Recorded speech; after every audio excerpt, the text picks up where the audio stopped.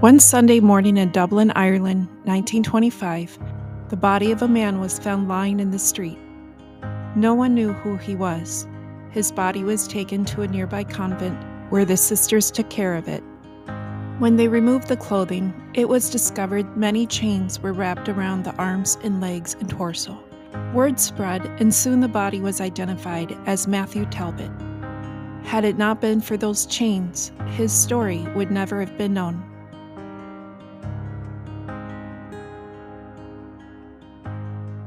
Talbot was a quiet man who never talked about himself.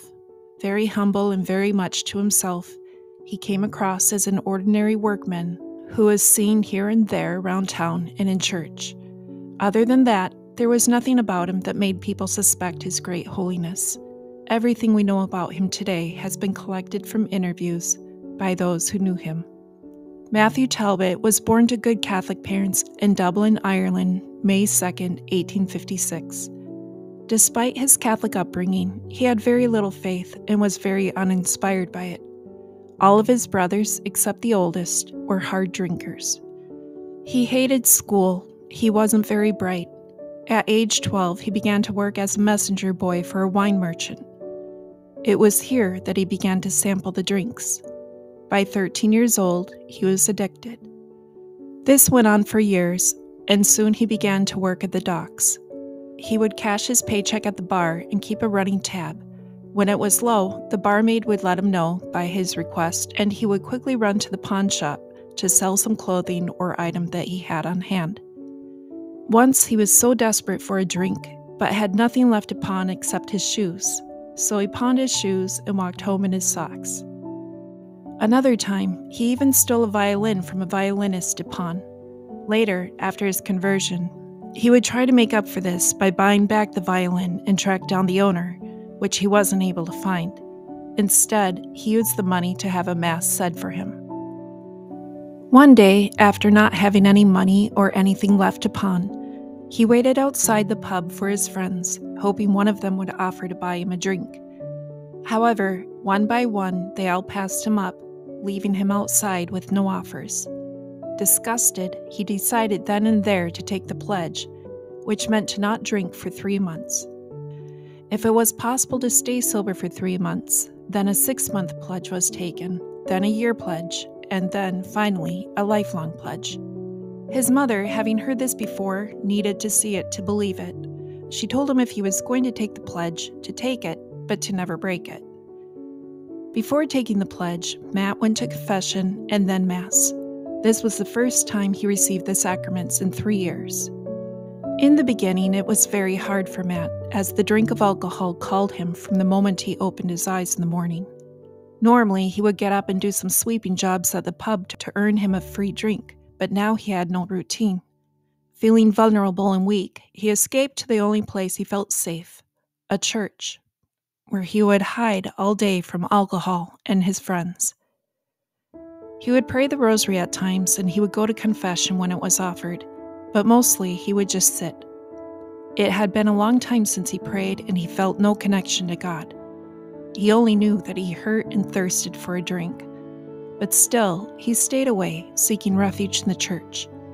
It was on Saturday that Matt had taken the pledge, and now on Monday, he had to go back to work.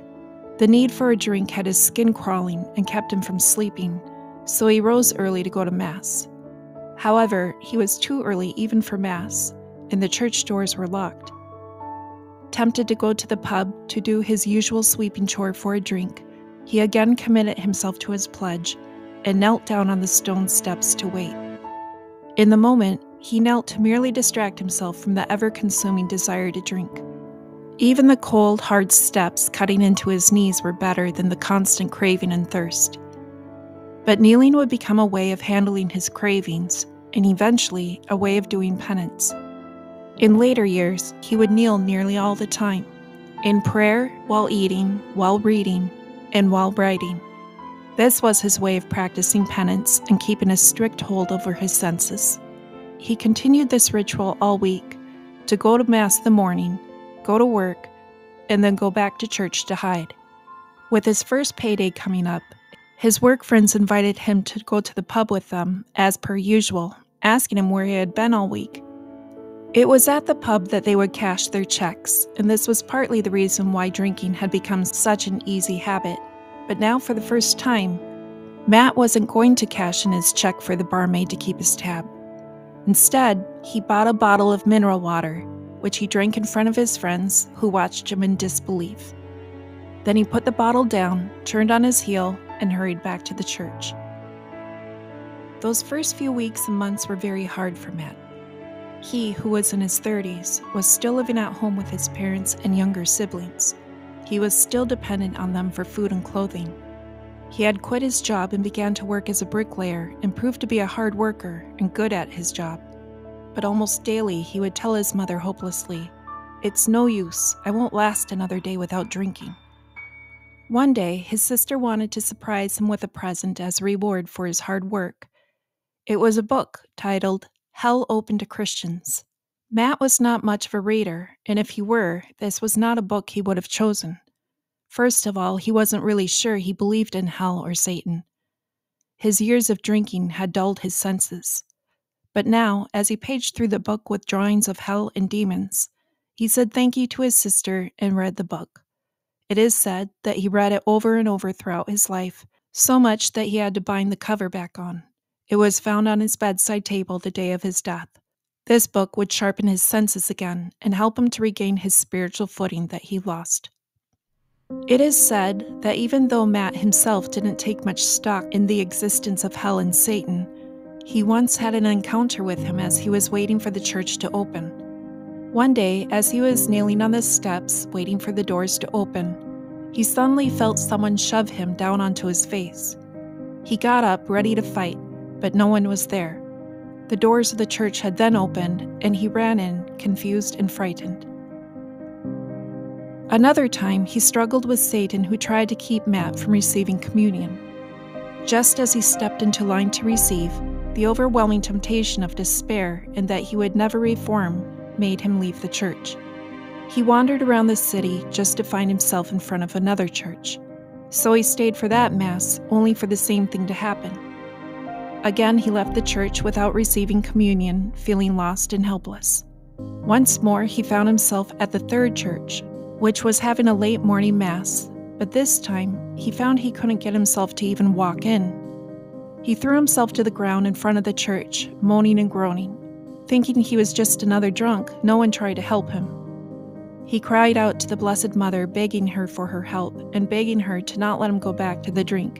And suddenly the temptation was lifted, and he felt the strength to stand and go inside the church. This time, he was able to receive with no problem. Because he was so fearful of going back to his old ways, as his desire for a drink was still so rampant, he took charge of his body by fasting.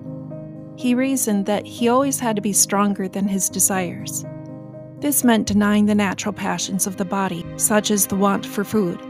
First, it was skipping a meal or two during the day and then he began to abstain from meat three times a week. This helped him overcome his desire for alcohol immensely, and his mother noted that this is when he stopped telling her that he could no longer live without alcohol. To remind himself of his promise in new life, he kept two pins on his coat sleeve in the form of a cross.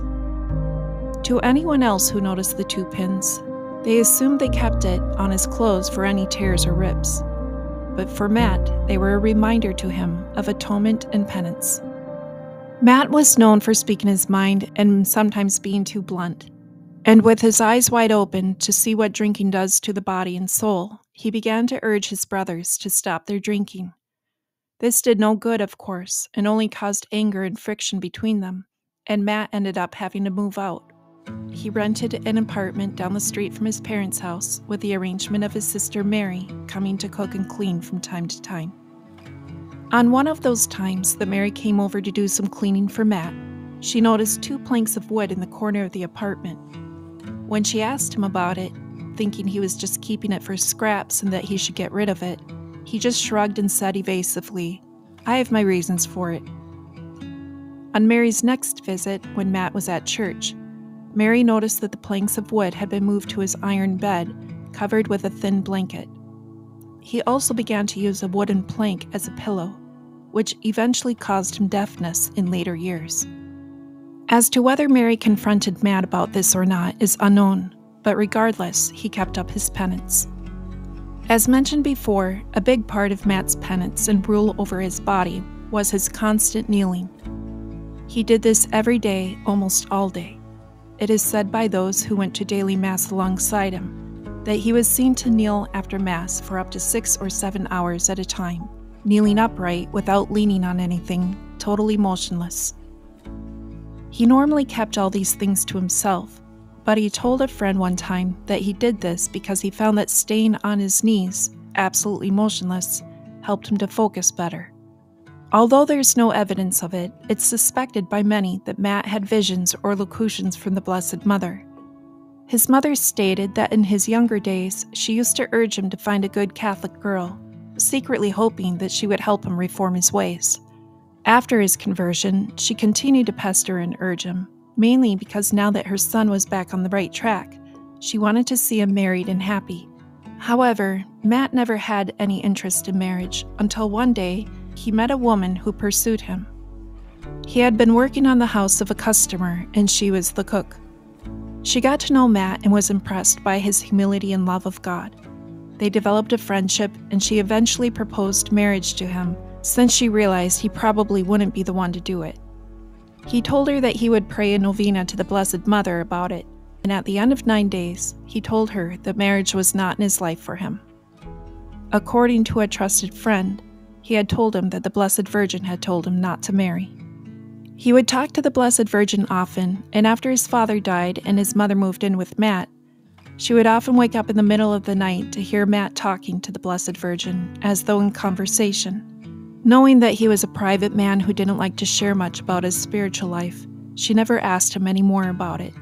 Along with his penances of fasting and kneeling, Matt would also wake at 2 in the morning, which is when he had the conversations with Our Lady. Sometimes his mother would see him suddenly fall prostrate on the floor, his arms out in the form of a cross, as though he were throwing himself at Our Lady's feet. He would stay awake praying and then go to the 5 o'clock Mass, arriving an hour early as usual to kneel and wait on the stone steps. He had prayed for the grace of perseverance and the grace of a prayer life, and he got both. He prayed all day long as he worked, stopping for the Angelus, regardless that his coworkers at times would smirk or make fun. He was in constant contemplation of God. When his coworkers used God's name in vain, he would take off his hat in reverence. When he got home, he would kiss the crucifix even before kissing his mother. After his meager dinner of a few vegetables and a bit of tea, they would say the rosary together, a few litanies, and read a little of the saints. His favorite saints were Saint Therese the Little Flower, as well as Saint Teresa of Avila and Saint Mary of Egypt. He was a man that spoke simply, and he would call them his grand ladies.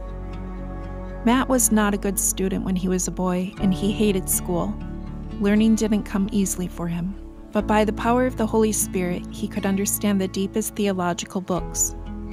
After his death, books of philosophers and theologians, as well as notes that were written on scraps of paper that were hung all over the walls, were found by his bed. When the Dublin lockout of 1913 led to sympathy strikes throughout the city, Matt's work, including Matt, came out, although he didn't join the picket line. At first, Matt refused to strike pay, saying that he didn't earn it. Later, he did accept it, but asked that it be shared out among the other strikers. Violent riots broke out in the streets of Dublin from non union men when they tried to run the tram cars. The picketers rebelled, and soon a huge fight broke out, bringing the police to charge into the crowd that had innocent men, women, and children and beat them with batons. Matt spent most of his time during the lockout in the church, kneeling upright and praying for his friends, coworkers, and family Eventually, after four months, the lockout disintegrated. Through the advice of his spiritual director, Matt wore chains underneath his clothing. They were light enough not to be seen through his clothing, but heavy enough to hold back watchdogs. He wound them tightly around his arm, waist, and leg. He kept them on his body until they were rusty, and then he would bury them and buy himself new ones. No one knew about this mortification except for his spiritual director and his one trusted friend, Father Hickey. Eventually, the chains became embedded into his skin. Matt hid his prayer life and mortifications from everyone. He wanted to be hidden and unnoticed from the world to escape admirations and temptation to pride. And so, when he was invited occasionally to have dinner at someone's house, he ate their food and ate their meat, or when someone wanted to share their lunch with him, he would eat it. Thus, for this reason, no one knew of his strict fasting. He would do this only to renounce himself and to perform an act of charity to a friend. When he had to be in the hospital for his weak heart and take a few weeks to rest, he slept on their bed with their comfortable blankets. But as soon as he got home, he went back to his wooden planks. And so on the outside, he was very ordinary, but on the inside, he was extraordinary. His prayer life had grown over the years, and towards the end of his life, his prayer routine consisted of the 15 decades of the Rosary, the Rosary of Our Lady of Sorrows, the Franciscan Crown of the Seven Joys of Mary, the Little Office of the Blessed Virgin, the Immaculate Conception Chaplet, the Prayers of the Sacred Heart, the Chaplet of Saint Michael the Archangel, and the Chaplet of the Holy Souls in Purgatory. This, in addition to various litanies and novena prayers. On Sundays, he would attend multiple Masses, hurrying from one Mass to the next. Towards the end of his life, Matt was forced to lighten a few of his penances. He was forced to eat a little more and to not stay as long in churches praying. He was so exhausted from his poor heart and all that he put his body through that many times his sisters, who had come by to check on him now that their mother had died years before, would find him lying on his plank bed almost unconscious. They would berate him. The way you carry on, have you no mercy on yourself? Suppose something should happen to you. He would respond, If I die and there's nobody around, I'll still have Jesus and Mary with me. On June 7, 1925, Matt felt well and in good health. So much so that one of his neighbors, who saw him nearly every morning, noticed it. Thanks be to God, was his usual reply when she mentioned how well he looked. On his way to Mass, witnesses saw him put his hand on a wall that he was passing by, and then he suddenly collapsed and died. This wall today has a cross and a small plaque where Matt's body was found. As word of Matt Talbot spread, he rapidly became an icon for Ireland's Catholic temperance movement, the Pioneer Total Abstinence Association. His story soon became known around the world. Many addiction clinics, youth hostels, and statues have been named after him. One of Dublin's main bridges is also named after him. On October 3, 1975, Pope Paul VI declared him to be Venerable Matt Talbot, which is a step on the road to canonization.